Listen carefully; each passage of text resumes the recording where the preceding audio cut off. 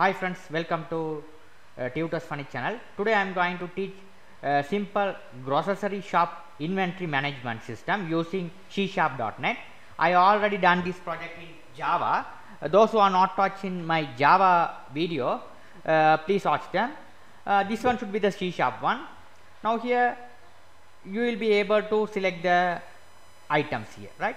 If you want to uh, select the sugar, you have to enter the quantity here right? I am going to enter as uh, 500 grams. Here there will be uh, two choices kilogram and gram. I am going to select as uh, gram here. T i am going to select as 2 kilo. Flour i am going to select as 75 kilo. Kilogram right. Rice i am going to select as 2 kilo uh, 5 uh, 10 kilo. 10 kilo rice. Click ok right. Now this one should be the uh, total display. Okay. Now what i am going to do is here uh, let me see how to do this program step by step. Here i have already designed the form. Uh, these called as check boxes. Okay these are these called as check boxes. Uh, this one should be the text field uh, text boxes. This is the combo box right? Uh, check boxes you can find go to the toolbox and you can find it here. Select and drag and drop uh, these are the controls I have to do it.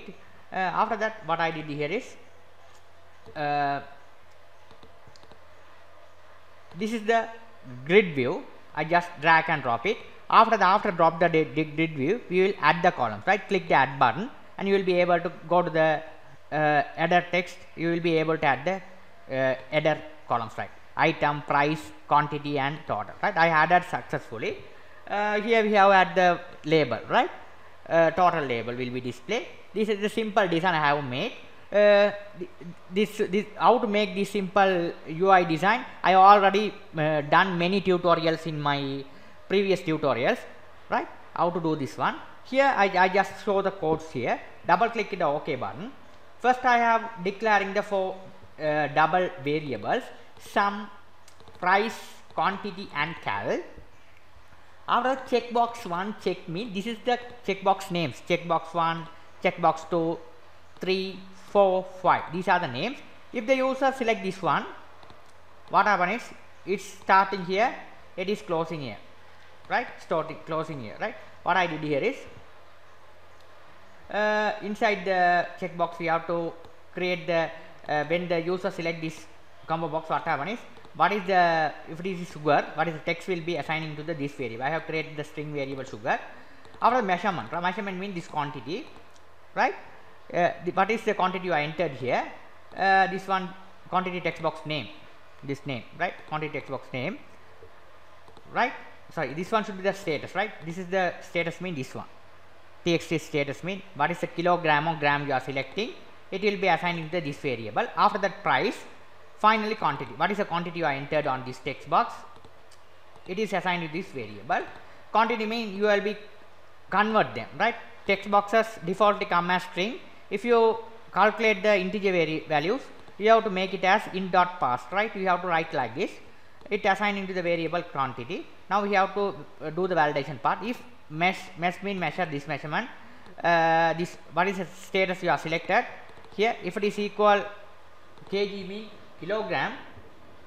If it is kilogram it is calculated. This variable you are call it below.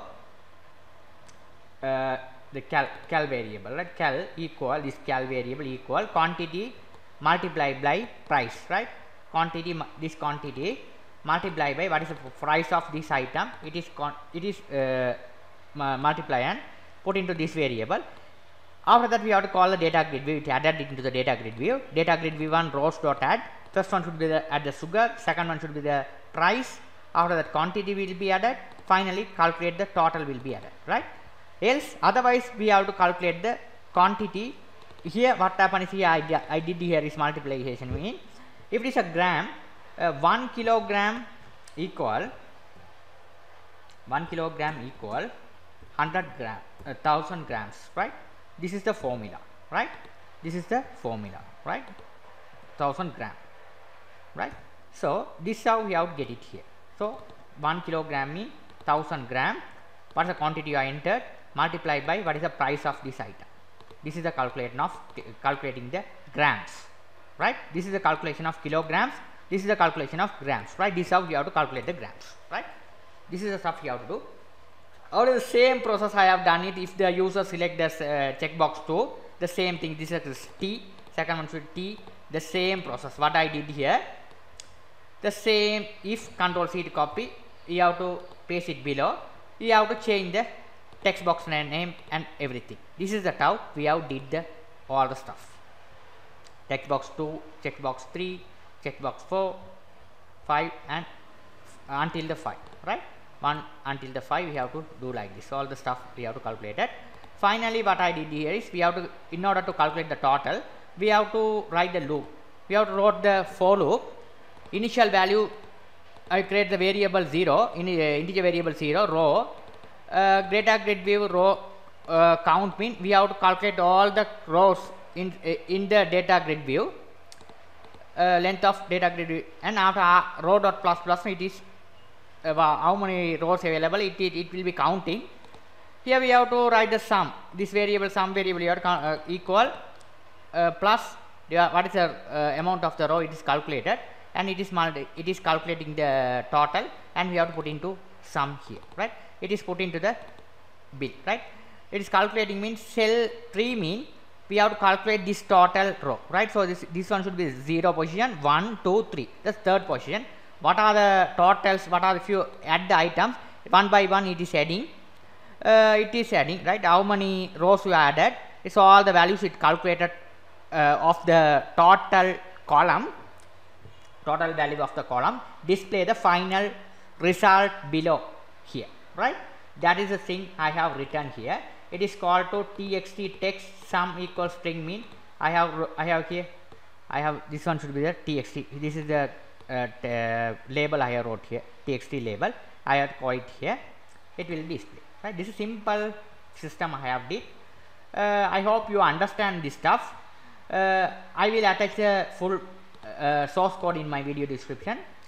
Uh, thank you for watching. If you like my channel please subscribe me like me. Thank you for watching